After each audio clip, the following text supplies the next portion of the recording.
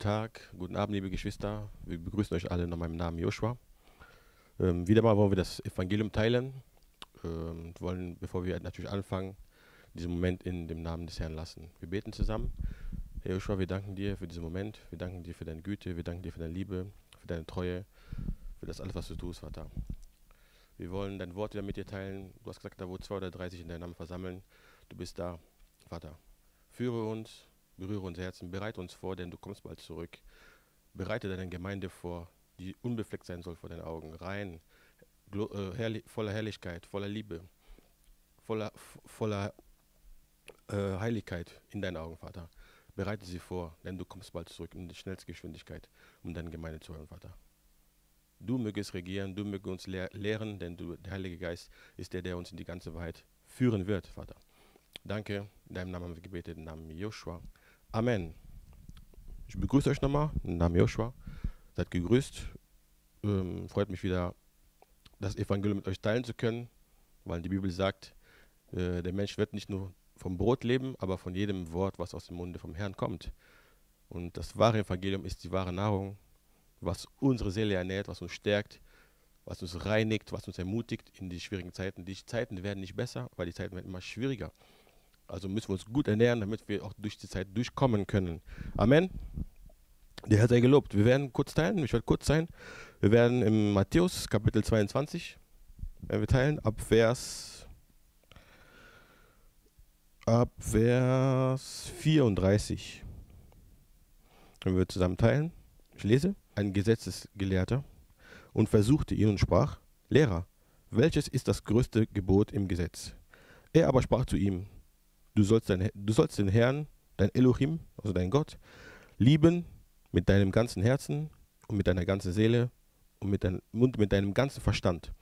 Gibt es in einem anderen Buch, das wird sogar zugefügt mit deiner ganzen Kraft. Dieses ist das größte und das erste Gebot. Äh, das zweite aber ist ihm gleich. Du sollst deinen Nächsten lieben wie dich selbst. In diesen zwei Geboten hängt das ganze Gesetz und die Propheten. Amen. Also wir haben mehrere Informationen in diesem, in diesem Text. Wir sehen, dass die Pharisäer gekommen sind. Die Pharisäer, man hat gesagt, die Pharisäer und die Sadduzäer haben, haben, sich, waren, waren zwei verschiedene Spalten, zwei verschiedene Sekten, aber da haben sie sich zusammengetan. Und da sieht man sogar, äh, wenn es um die Wahrheit geht, können, sind sogar die Feinde fähig, sich zusammenzutun, obwohl die nicht miteinander sprechen, aber sie sind fähig, sich zusammenzutun, um, um zu versuchen, die Wahrheit zu erlöschen. Aber wer kann den Herrn besiegen? Niemand. Wer kann ihn versuchen? Weil den versuchen ihn zu versuchen. Wen niemand. Sogar der Teufel hat es nicht geschafft. Und dann werden die das schaffen? Nein. Der Herr ist allmächtig, der weiß alles, der sieht ganz gerade in deinem Herz und der weiß sogar, was du denkst, bevor du deinen Mund öffnest. Amen. Hier wird eine Frage gestellt. Das waren Gesetzesgelehrte. Also die haben das Gesetz anderen Leuten gelehrt. Das Gesetz, was ist das Gesetz von Mosche? Amen. Und wir können gut sehen, warum hat er die Frage gestellt? Weil er kannte das Gesetz. Also er hat versucht, ihn zu versuchen. Es gibt manche Leute, die stellen Fragen, weil die wirklich wissen wollen. Also die wollen wirklich äh, sich äh, Intelligenz holen, die wollen wirklich in, eine Information holen. Aber es gibt manche Personen, die stellen Fragen nicht, weil die das wollen, aber die haben einen böse Gedanken. Das, ein Gedanke vom Schlange, das steckt dahinter. Und zwar, er versucht dich zu versuchen. Er versucht, dich, äh, er versucht, dass du einen Fehler machst, dass du fällst. Dass du dich, dass du, dass, dass du dich von den, dass du dich von den Leuten bloßstellst. Das ist sein Ziel. Aber wer kann den Herrn versuchen? Der Herr hat Himmel und Erde erschaffen. Diese Leute waren nicht da. Der Herr hat sie erschaffen, die waren nicht da. Und dann wollen die ihn versuchen. Nein, das funktioniert doch nicht. Ein Beispiel, also wir müssen sehr, sehr vorsichtig sein, wenn wir Fragen stellen, was für eine Motivation steckt dahinter. Weil du, wir können den Herrn nicht versuchen. Und wir dürfen nicht vergessen, die Leute, die äh, die Botschaft wiedergeben, also die wahren Prediger, die wahren Kinder von Elohim, die sind von seinem Geist geführt. Also wenn du versuchen würdest, ihn zu versuchen, wenn du du, ja, aber du wirst dann, du wirst dich bloßstellen. Genauso wie die auch.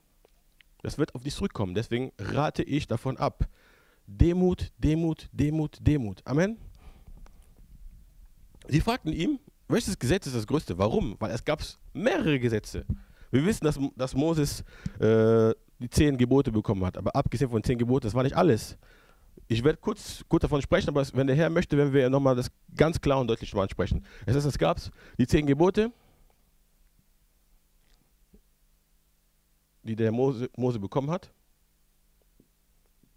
Auf dem Berg Sinai oder auf dem Berg Horeb Wir können sehen im äh, 3. Mose ab Kapitel 19. Und man sieht sogar, dass die zehn Gebote ab Kapitel 20 sogar anfangen. Aber abgesehen davon, wenn man äh, 2. Mose, sorry, 2. Mose Kapitel 19, kann man das sehen. Und man sieht sogar ab 2. Mose 20, also Exodus, dass dann die zehn Gebote gegeben wurden. Aber ab 3. Mose, wenn man zum Beispiel weiterliest und man auch dieses ganze Buch von Levitikus nimmt, 3. Mose, und äh, da sind auch Gesetze drin oder andere Gebote, die er bekommen hat. Und das waren auch, das waren insgesamt 613 weitere Gebote. Das heißt, insgesamt mussten Israel, die Juden, 613 Gebote respektieren, hatten die, die sie respektieren mussten, die sie halten mussten. Und damit die koscher sind, also damit die rein sind, mussten die alle 613 respektieren. Also wenn du nur 612 hattest, warst du, wie man sagt, knapp vorbei, knapp daneben, aber ist auch vorbei. Amen. Damit du ein Tor schießt, musstest du 613 haben. Amen. Und genau so war das. 613 Gebote hatten die. Und die kommen, versuchen ihn zu versuchen. Ich werde nochmal weitergehen. Die 613 waren gesplittet in drei verschiedene Sorten. Und zwar gab es die zehn Gebote, die wir kennen, ist gleich, können wir sagen, Gebote. Das, waren die, das, waren, das war dann das moralische Gesetz.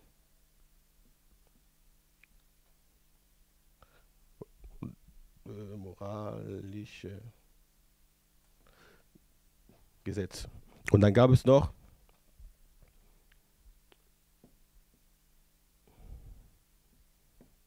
das Zeremonielle.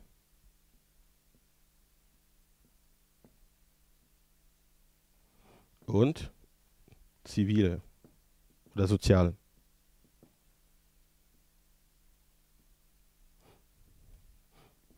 Amen. Das heißt, die, das waren drei verschiedene Arten oder drei verschiedene äh, Spalten von, von Gesetzen oder von Geboten, also von Gesetzen, Arten, die die hatten. Die wussten das, die kannten sie, die haben sie gelehrt. Es gab damals zwei Schulen, es gab die Schule von Ilan und die, Schule von Shammai. Und da haben die, die, haben die damals diese Gesetze gelehrt. Und die haben versucht, ihn zu versuchen. Aber da der Herr größer ist als wir, hat er ihnen die perfekte Antwort gegeben. Und wir konnten heute davon auch profitieren. Das heißt, damals gab es diese Gesetze, damals gab es diese Gebote, es gab das moralische Gesetz, zeremonielle und das zivile. Wenn der Herr will, wenn wir nochmal darauf tiefer eingehen. Die, die, äh, die zehn Gebote vereinhalt, äh, dieses moralische Gesetz ist gleich ungefähr die zehn Gebote, außer einer von dem, weil einer von dem sagt, du musst den Sabbat respektieren. Das ist auch, Sabbat würde zum Zeremoniell gehen, weil es war eine Zeremonie, die man regelmäßig machen musste. Machen wir heute nicht mehr so. Amen? Warum?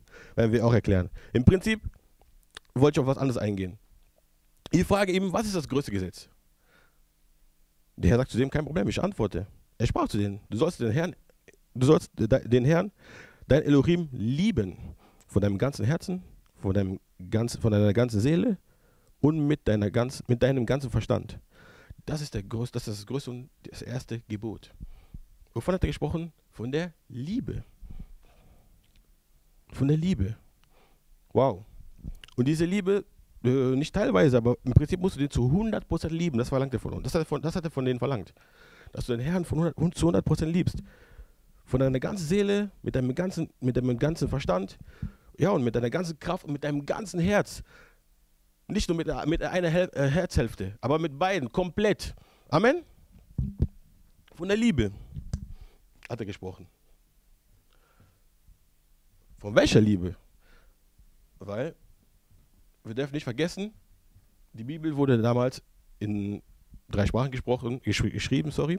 Und zwar in Hebräisch, ein großer Teil, ein kleiner Teil in Aramäisch und nochmal ein großer Teil in, auf Griechisch.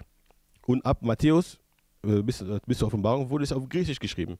Und wir dürfen nicht vergessen, die griechische Sprache ist viel reicher in manchen, in manchen Wörtern.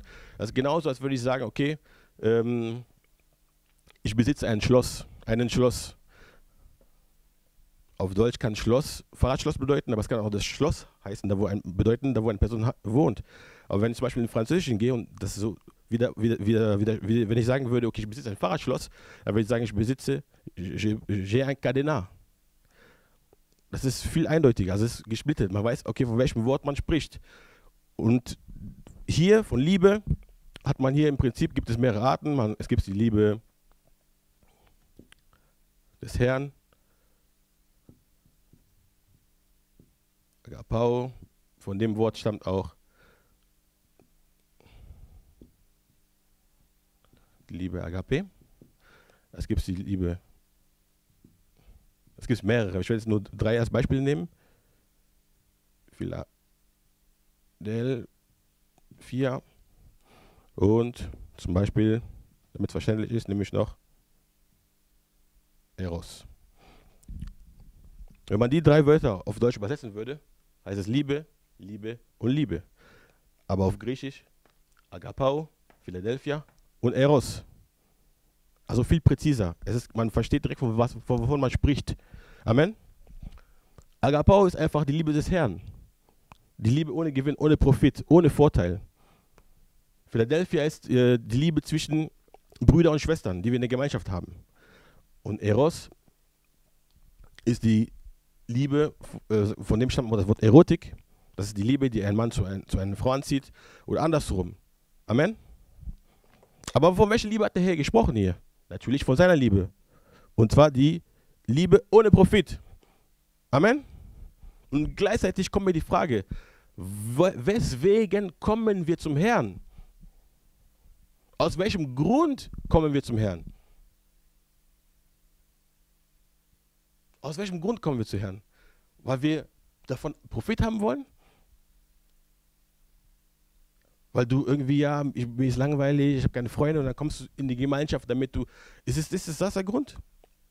Kommst du zum Herrn, weil du vielleicht eine hübsche Frau in der Gemeinde gesehen hast und denkst, okay, damit ich sie kriege, muss ich mich ja tarnen, muss ich so tun und dann komme ich zum Herrn. Ist, es der, ist, es das, ist das dein Grund? Kommst du zum Herrn, weil dir irgendein falscher Lehrer dir verspricht, dass wenn du zum Herrn kommst, dass du äh, Millionär sein wirst? Ist das der Grund, warum du zum Herrn kommst? Dann bist du total daneben. Von der Liebe, die hier gesprochen hat, die Liebe Agapau. Die Liebe ohne Profit, ohne Gewinn. Du liebst ihn, weil er dein Schöpfer ist. Du liebst ihn, weil du ihn liebst. Punkt. Amen. Davon hat er gesprochen. Davon hat er gesprochen. Es gibt nur andere Arten zu, von Liebe. Er hat gesagt, das, das Liebe der, das Liebe, das, äh, das gibt äh, Liebe vom Geld, es gibt Liebe dieser Welt. Und da, davon hat er nicht gesprochen. Das, davon sollen wir die Finger lassen. Weil diese Dinge werden uns von ihm trennen. Aber die Liebe, die, die, die uns zu ihm anziehen kann, ist diese Liebe hier. Die Liebe ohne Profit, die Liebe ohne Gewinn. Dass du liebst ihn, weil er dein Schöpfer ist. Amen. Aber da wir wissen, der Herr ist der Erste in allem, er wird uns nicht etwas äh, von uns etwas verlangen, was er selbst noch nie getan hat. Er ist das perfekte Vorbild. Er ist nicht wie äh, die Pharisäer, die ihn versucht haben. Was hat er gesagt in Matthäus? In Matthäus, ich schau mal. Was hat er uns gesagt? Und zwar, genau, Matthäus 23. Dann redet äh, zu den, zu den Volksmengen und spricht zu den Jüngern. Ab Vers 1. Auf Moses Lehrstuhl haben die Schriftgelehrten und die, und die Pharisäer gesetzt. Alles nun, was sie euch sagen, tut und haltet es, aber handelt nicht nach ihren Werken. Also die sitzen auf, den, auf die Gebote, die ich vorhin hier hatte. Die sitzen auf den Geboten, was Moses bekommen hat. Beobachtet sie und hört, was sie sagen, setzt es um. Aber was die tun, tut es nicht. Die reden von, von dem Gesetz, das ist gut, aber ihr Verhalten ist nicht das Verhalten, was, was das Gesetz von ihm verlangt. Also tut nicht, was sie tun. Amen? Was sagt er? Ähm, alles nun, was ich euch sagen, tut und haltet, aber handelt nicht nach ihren Werken. Denn sie sagen und tun es nicht. Amen. Aber Joshua ist nicht so. Wenn er was sagt, hat er schon getan. Darauf wollte ich hinaus. Die sagen, aber tun es nicht. Die sagen zu euch, mach das, aber tun es nicht. Mach das, aber tun es selbst nicht. Die, die, die legen schwere Last, ein schweres Joch auf anderen Leuten, aber tun es nicht. Selbst rühre nicht mal einen einzigen Finger. Null. Aber der Herr verlangt von uns, okay, wir, wir sollen lieben, von der Liebe. Er war der Erste. Wir können sehen. In Johannes 3.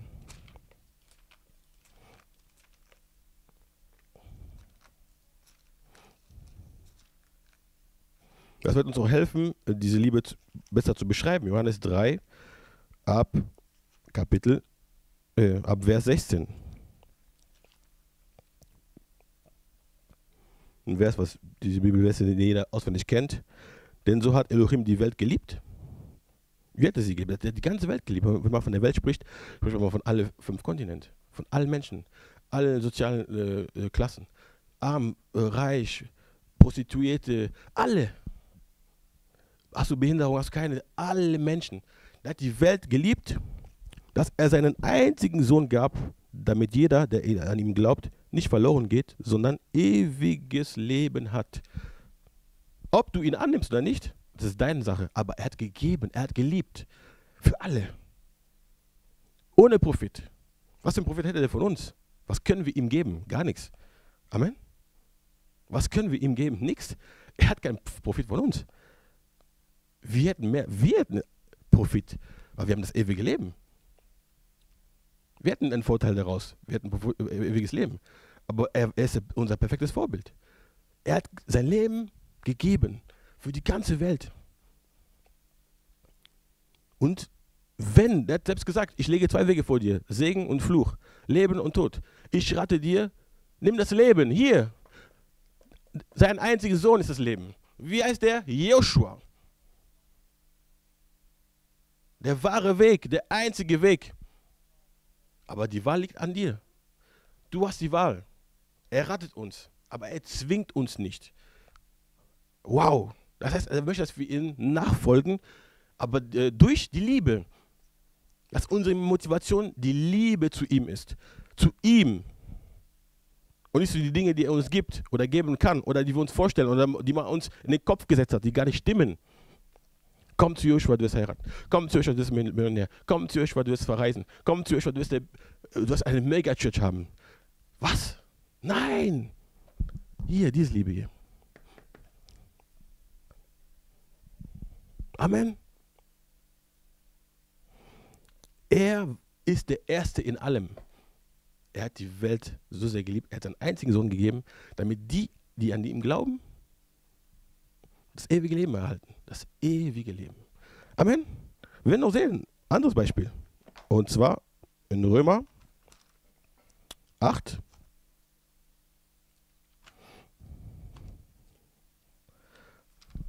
Deswegen liebe ich den. Das heißt, bevor ich schon hier war, hat er, sich, hat, hat er sich schon geopfert für mich. Da steht er in, in, in Johannes. Und das sagt, der Römer sagt, sagt uns nichts anderes. Römer.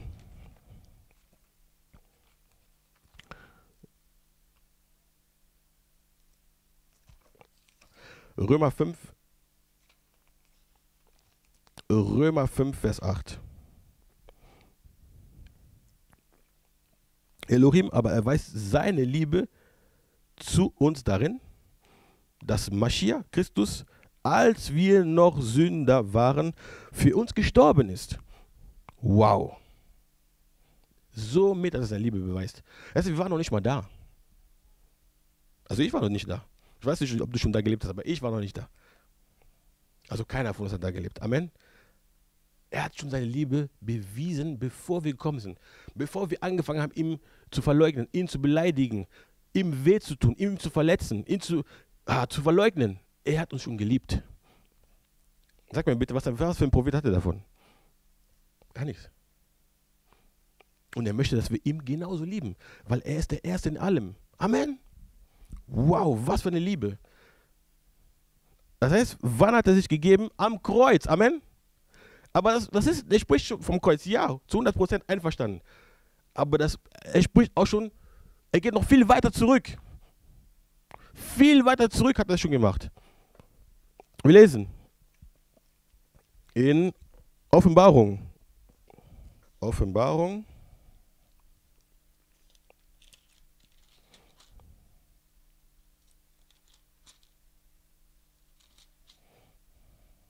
Kapitel 13 ab Vers 8. Und alle, die auf der Erde wohnen, werden ihn anbeten. Jeder, dessen Name nicht geschrieben ist im Buch des Lebens, des geschlachteten Lammes, von Grundlegung der Welt an. Das Lamm wurde schon geschlachtet von Grundlegung der Welt, bevor die, die Welt gemacht wurde, war das Lamm schon geschlachtet. Hat er schon seine Liebe bewiesen, schon in der e vergangenen Ewigkeit hat er schon geliebt. Wow! Von welchem Lamm spricht man von Joshua? Das Lamm Elohims, der die Sünde wegnimmt. Das Lamm, was Johannes, der Täufer, uns vorgestellt hat. Amen. Das heißt, er, diese Liebe, die er von, von uns verlangt, er ist nicht wie die Pharisäer. Er sagt nicht tut, aber er tut es sich selbst nicht. Er hat schon getan. Er hat schon bewiesen, dass es möglich ist. Weil er ist der Weg. Und wir sind gekommen, um auf seinen, auf seine, auf seine, seine, äh, auf seinem Weg zu laufen. Amen. Das heißt, wenn er das gemacht hat, das heißt, wir können das auch. Vergiss, wenn nicht Joshua war 100% Mensch, 100% Elohim. In Anführungsstrichen Gott. Amen. Liebe dein Elohim vom ganzen Herzen, von deiner ganzen, von deiner ganzen Kraft, von deinem ganzen Verstand. Liebe ihn. Aber so. Und das zweite Gebot sagt er uns, wir gehen wieder zurück nach Matthäus 22.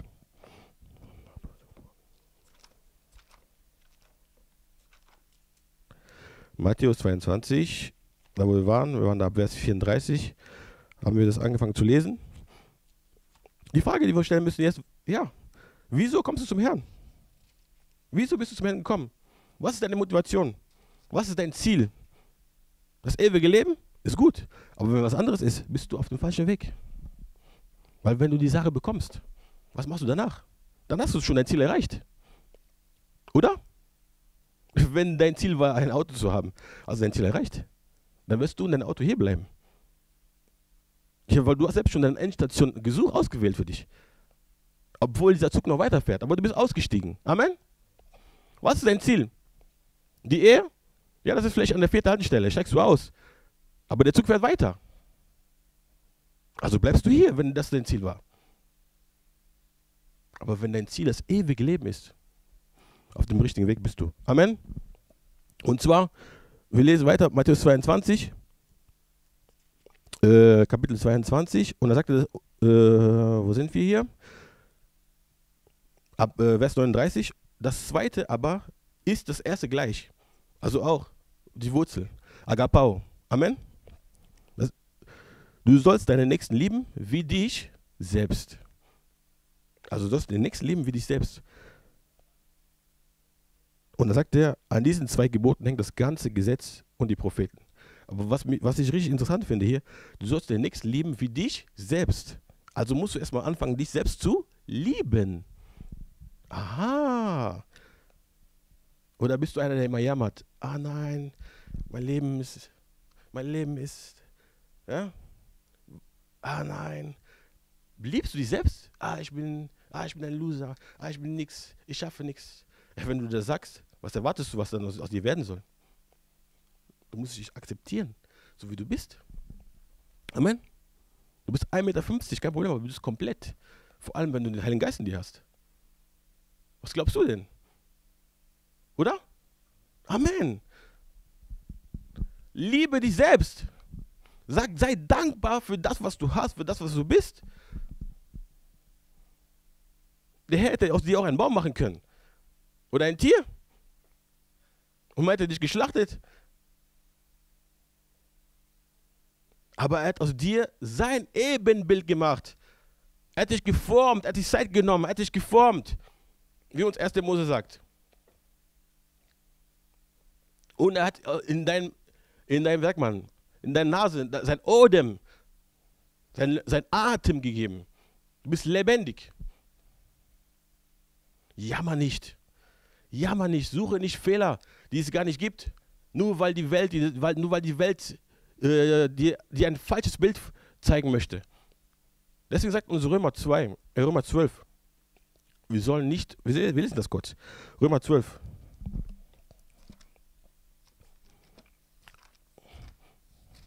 Ich weiß, ihr liebt das Wort, deswegen habt ihr auch nichts dagegen, wenn wir lesen, sondern gleichzeitig könnt ihr auch prüfen, das, was wir sagen, in, der, in, dem, in, dem, Wort geschrieben, in dem Wort geschrieben ist. Amen. Römer 12, ab Vers 1. Ich ermahne euch, Brüder, durch die, äh, Erbarmung Gottes, eure Leibes darzustellen als ein lebendiges, heiliges, Gott, Gott gewohl, gewohlfälliges Opfer, was eure vernünftiger Gottesdienst ist. Und seid nicht gleichförmig dieser Welt. Diese Welt äh, wird vergehen. Alle Dinge dieser Welt sind und diese Welt wird vergehen. Wir haben heute ein Problem, heutzutage haben wir ein Problem. Warum? Weil die Menschen präsentieren sich auf den sozialen Netzwerken von ihrer schönsten Seite. Und du könntest denken, dass der Nachbar keine Probleme hat. Du könntest dann denken, dass deine Nachbarin, dein Nachbar, das, ja, auf Wolke 7, obwohl es, obwohl es das gar nicht gibt, auf Wolke 7 lebt, wie man so sagt. Warum? Die Leute posten immer das Schönste, die posten sich. Photoshop, Bearbeitung. Sogar mit unseren einfachen Handys kannst du deine, deine Bilder bearbeiten. Mit Snapchat und so weiter und so fort. Und wenn du das konsumierst, konsumierst, konsumierst, denkst du, ey, du vergleichst dich, aber du vergleichst dich mit, mit einem falschen Bild. Geh hinter diesem Bild und lerne mal diese Person äh, näher kennen. Du wirst sehen, der hat vielleicht mehr Probleme als du. Aber sie täuscht. Wir täuschen uns. Wir zeigen ein falsches Bild von uns. Warum? Und deswegen leiden wir, weil wir wollen uns dieser Welt anpassen. Wir wollen uns dieser Welt anpassen. Aber diese Welt belügt uns. Diese Welt wird vergehen. Wenn, das, wenn diese Welt ewig wäre, wäre das gut. Aber es ist nicht so. Wir sollen nach dem Ewigen trachten, das wahre Bild. Wir sollen nach dem trachten, der sich versteckt, der Himmel und Erde erschaffen hat, aber sich noch versteckt. Und er meinte, die, die aushalten, die im Himmelreich kommen, die werden ihn endlich sehen, so wie er ist der uns erschaffen hat. Und wir werden sehen, ah, nach dem Bild wurden wir gemacht. Ach so, nicht nach so, nach so, nach so. Nein, sei nicht eine Kopie von jemand. Du bist einzigartig, dich gibt es nicht zweimal. Auch wenn ihr Zwillinge seid, ihr seid einzigartig. Auch wenn ihr Drillinge seid, ihr seid einzigartig. Also versuche nicht eine Kopie von jemand zu sein, weil dich gibt es nicht zweimal. Du bist kein Massenprodukt. Amen. Sei stolz und sei dankbar. Liebe dich selbst. Nicht Götzendiener werden. Davon rede ich nicht. Versteht meine Botschaft? Dass du anfängst, vor dem Spiegel zu stehen, fünf Stunden. Ah, der Bruder hat gesagt, wie soll ich mich jetzt belieben? Nein, das nicht. Aber du sollst es akzeptieren. Du sollst es so akzeptieren, wie du bist. Und dann kannst du anfangen, den anderen zu lieben. Aber wenn du dich nicht selbst liebst, wie willst du denn deinen Nächsten lieben? Geht es nicht. Amen? Wenn du dich nicht selbst liebst, wie willst du deinen Nächsten lieben? Unmöglich ah nee, ich bin zu dünn, ah nee, ich bin zu dick, ah nee, ich bin zu so, ah ich will, ich will, so. du meckerst, du meckerst, du meckerst. Und mit dieser ganzen, wie nennt man das hier? Chirurgie hier, was man, was man uns hier präsentiert. Bist du versucht sogar, bist, fällst du in Versuchung, durch dein, dein, dein Leid, dein, dein Gemeckere zu ernähren. Ah nee, wir Europäer haben zu, zu dünnen Lippen, ich gehe meine Lippen ein bisschen liften. Warum? Warum? Ah, nee, ich bin zu dunkel, ich möchte mich bleichen. Ah, ich bin nicht zu hell, ich möchte braun werden, gehe ins Solarium. Warum? Sehr natürlich. Der Herr hat dich so gewollt. Amen. Lerne, dich zu lieben, dich zu akzeptieren. Sei dankbar. Amen. Und liebe deinen Nächsten wie dich, wie dich selbst. Das heißt, wenn du was zu essen hast, würdest du auch wollen, dass, die Person auch was zu essen hat. Wenn du jemanden leiden siehst, muss es dir wehtun. Wenn du jemanden siehst, der, der, der, dem, dem es an Kleidung mangelt, das wird dir wehtun. Weil dir mangelt es nicht. Amen? Wenn du siehst, dass jemand ein Problem hat, dann ist es, dann, dann schmerzt dein Herz. Da, wo du was tun könntest, würdest du agieren. Weil du würdest dich selbst nicht freuen, wenn, diese Probleme, wenn, dieses, wenn du dieses Problem hättest. Wenn jemand trauert, was mit ihm trauern. Wenn jemand sich freut, was mit ihm freuen. Amen? Wie dich selbst leben. Von den zwei Geboten. Wir haben vorhin gesehen, das waren 613. Das heißt, er, der Herr hat durch diese, diese Versuchung von dem Pharisäer uns auch eine positive Antwort gegeben. Wir haben verstanden, dass die, das, die, die, die, die 613 Gesetze wurden resumiert in zwei Gesetze. Zwei Gesetze. Danke, Heiliger Geist. Wir werden noch etwas sehen. Wir werden kurz gehen in 2. Mose 20. 2. Mose 20. Der Herr hat gesagt, liebe deinen Nächsten wie dich selbst. 2. Mose 20.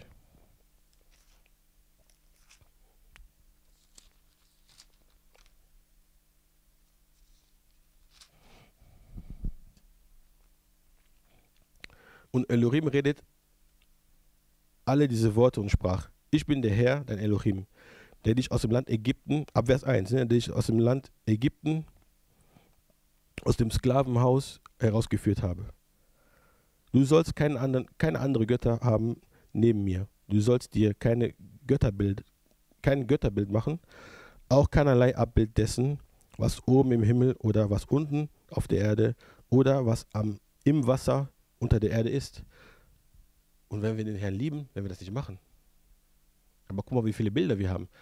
Wir haben einen Jesus, wir haben verschiedene Jesus, Jeschua, die uns präsentiert werden. Einer mit blauen Augen, einer mit grünen, einer mit Bart, einer mit langen, mit kurzen Haaren. Wo, wo kommen diese Leute? Wer war der Fotograf, der ihn fotografiert hat? Wir haben andere Leute am Mekka, andere Leute am Lourdes und so weiter und so fort. Andere Leute am, am Buddha, das sind doch Bilder. Wir sollen das doch nicht machen. Wer hat den Herrn gesehen? Der Herr ist Geist. Amen. Und wenn du ihm liebst, wirst du gehorchen. Amen.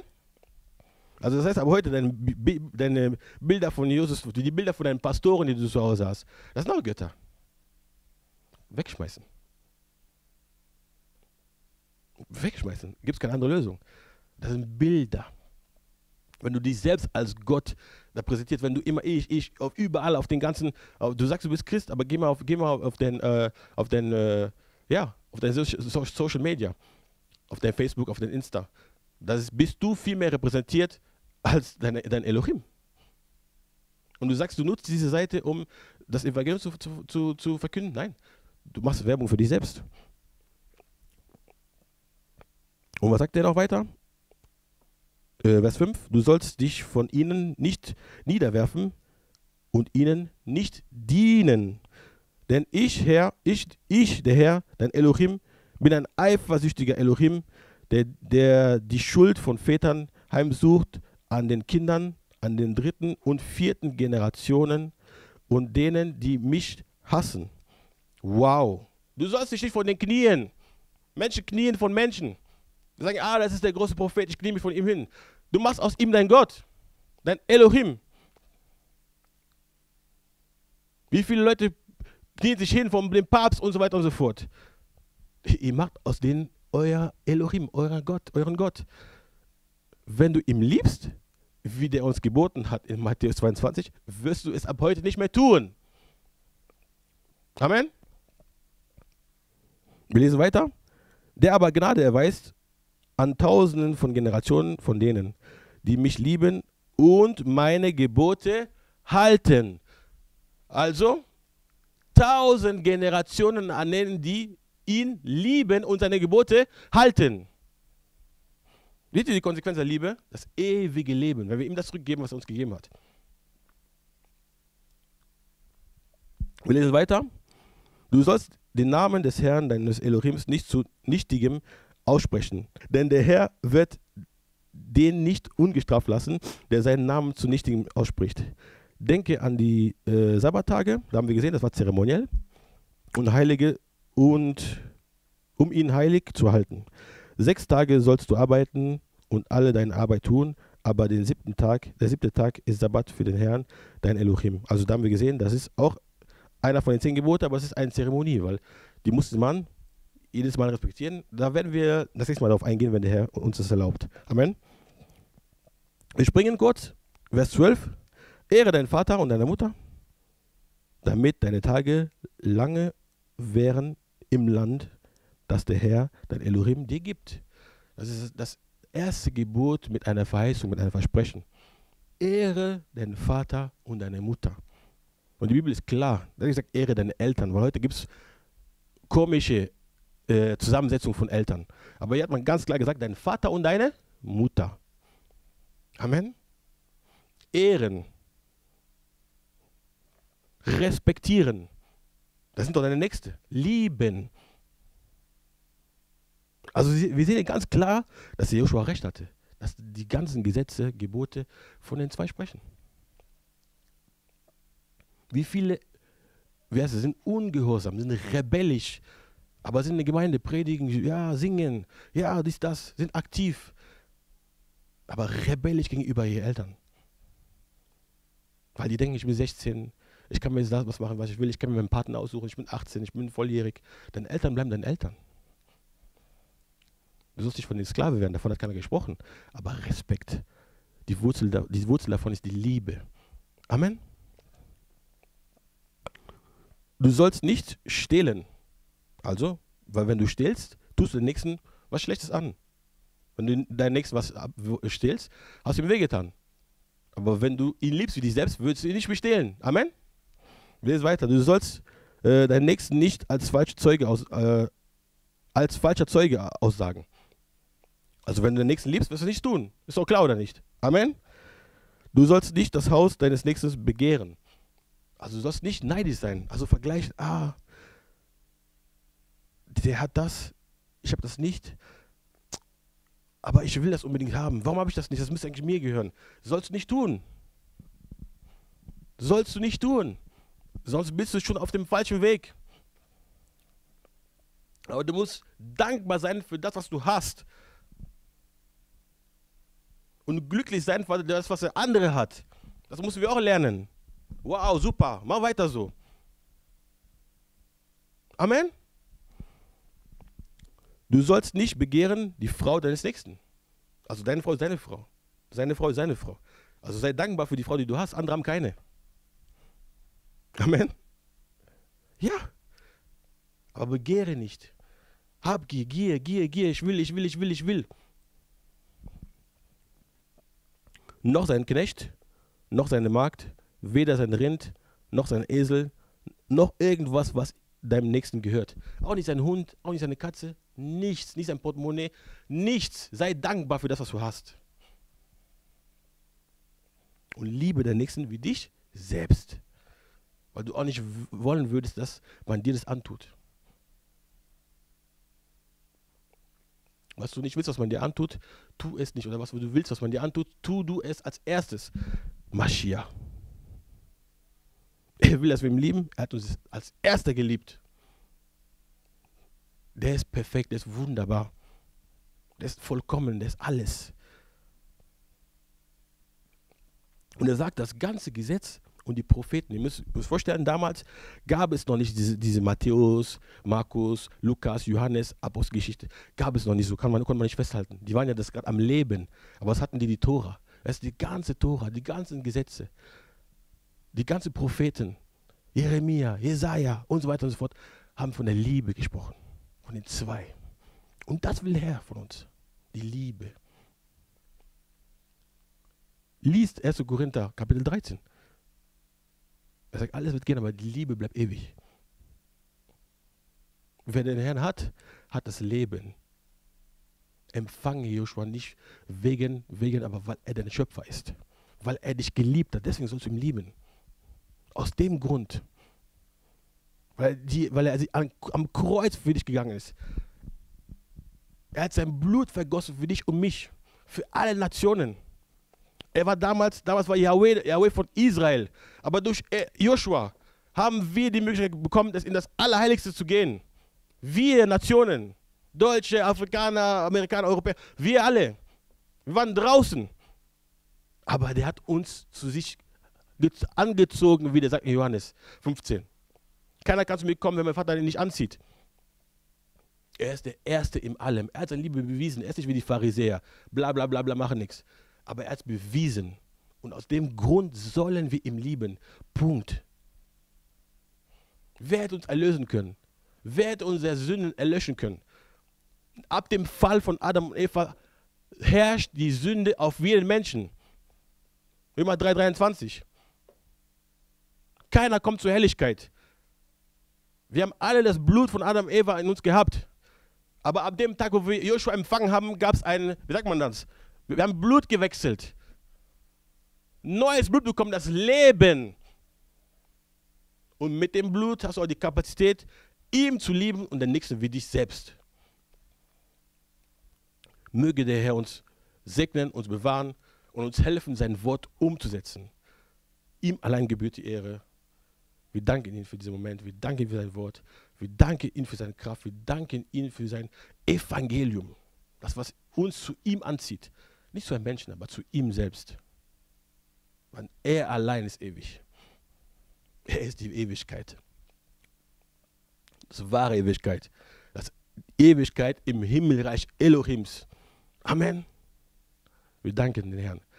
Wenn jemand ein Anliegen hat, Themen, die, wir gerne, die er gerne mit uns besprechen würde, die Fragen hat zur Bibel, wir kennen nicht alles, aber wir sind, wir sind bereit, uns die Mühe zu machen, eure Fragen zu beantworten.